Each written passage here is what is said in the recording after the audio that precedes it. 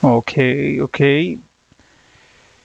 Listo. Entonces ya tenemos eh, prácticamente, esto es parte de la solución. Estamos eh, desarrollando la, empezando a desarrollar la solución para este planteamiento, para este enunciado. Es el primer proyecto, el proyecto extractor de títulos de libros.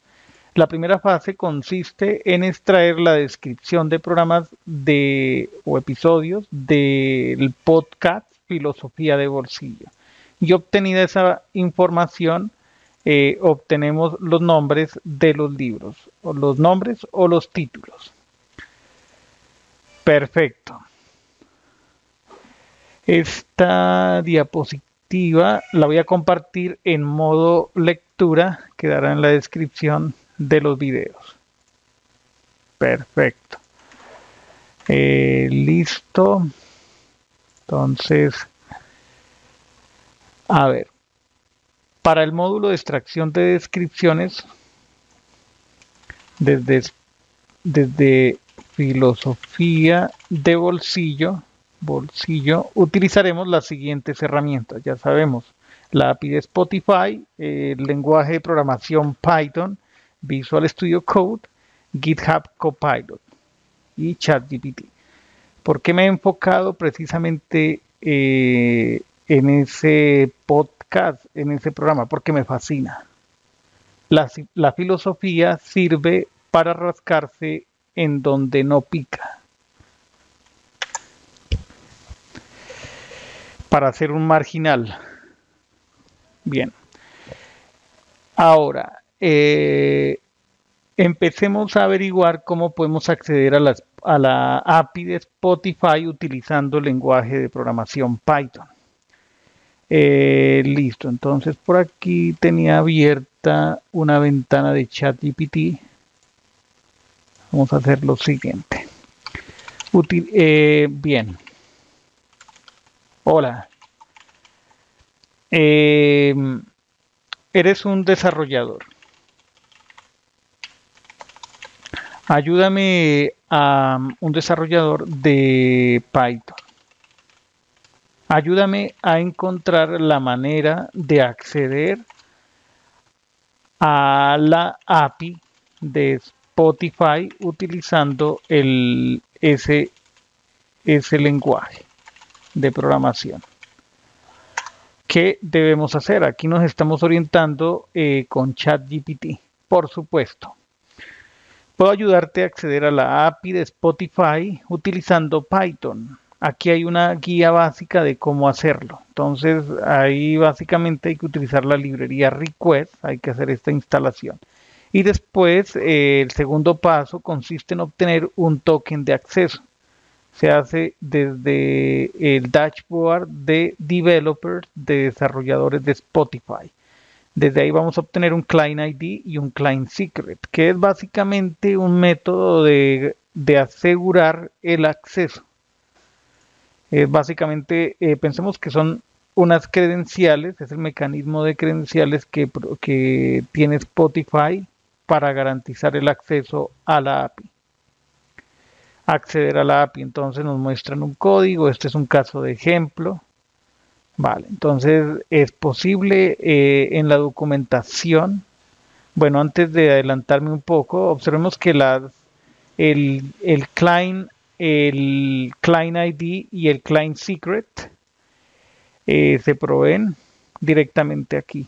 Pues no es la manera segura que queden dentro del mismo archivo. En su lugar escribiremos un programa en donde esas estos valores queden, digamos, protegidos. Perfecto.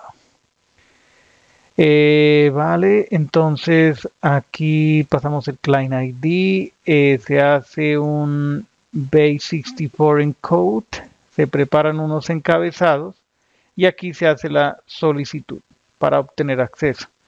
Y después de eso podemos buscar por el nombre de una canción Creo que Imagine, esa canción de quién es, no es de los Beatles. Bueno, no me acuerdo. Y aquí mostramos el resultado de esa solicitud. Entonces, existe el modo de acceder a esa API utilizando el lenguaje de programación Python. Ahí básicamente eh, tendríamos que utilizar eh, la librería request. Perfecto. Bueno, ustedes saben lo que es un ambiente virtual en Python. Preguntémosle aquí, ¿qué es un ambiente virtual en términos de Python? Básicamente, antes de leer la respuesta que nos dé ChatGPT, un ambiente virtual es el equivalente, digamos así, grosso modo, de un proyecto. Tiene varias características y ahí las está describiendo ChatGPT. Un ambiente virtual en Python es una herramienta que permite crear un entorno aislado, aislado para proyectos Python un entorno aislado, es decir, que cada proyecto sea una, sea una unidad de trabajo, un compartimento de trabajo, en el que puedes instalar paquetes sin interferir con otros proyectos. Pensemos en lo siguiente, tenemos el proyecto A, el proyecto B. Y digamos que el primero utiliza la librería request, digamos 1.0.0. Y el proyecto B utiliza request 2.3.0. Entonces el proyecto B no está conflictando, no hay conflicto en las versiones de la, de la librería request.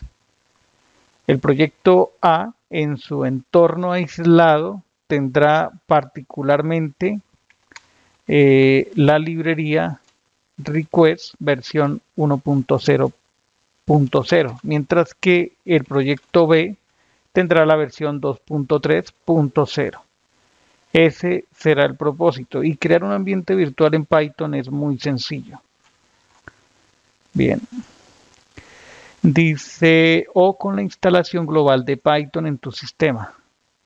Nosotros podemos instalar eh, librerías a nivel global y librerías a nivel de entorno virtual. Es decir, que estas librerías únicamente queden en esos dos ambientes virtuales, en esos dos eh, proyectos. Es especialmente útil cuando diferentes proyectos tienen diferentes requisitos de paquetes o versiones. Inclusive por cada proyecto se puede utilizar una versión distinta de Python que se acople a las necesidades particulares, porque es posible que a la hora de poner en funcionamiento el proyecto, el lugar en donde se despliegue, se ponga en marcha la aplicación, no tenga disponible esa versión de Python. Entonces, eh, digamos que eh, pueden existir restricciones. Entonces, eh, ahora, Ventajas de usar ambientes virtuales. Aislamiento. Si tienes múltiples proyectos y cada uno requiere diferentes versiones de paquetes, los ambientes virtuales permiten manejar esto sin conflictos. Versiones. Si un proyecto requiere una versión específica de un paquete, puedes asegurarte de que solo ese proyecto use esa versión, mientras que otros proyectos pueden usar otras versiones. Dependencias mínimas. Cuando trabajas en un proyecto en particular puedes estar seguro de que solo estás instalando las dependencias que realmente necesitas en lugar de instalar paquetes globalmente y potencialmente llenar tu instalación de Python con paquetes innecesarios. es aquí donde hay una, eh, digamos, un, beneficio. Eh, cada proyecto tiene sus librerías, sus dependencias y va a quedar únicamente con las dependencias pertinentes, ni una más ni una menos. Bien. Reproducibilidad. Facilita compartir y replicar tu entorno de desarrollo, es decir, eh, ustedes pueden copiar enteramente el proyecto, ¿sí?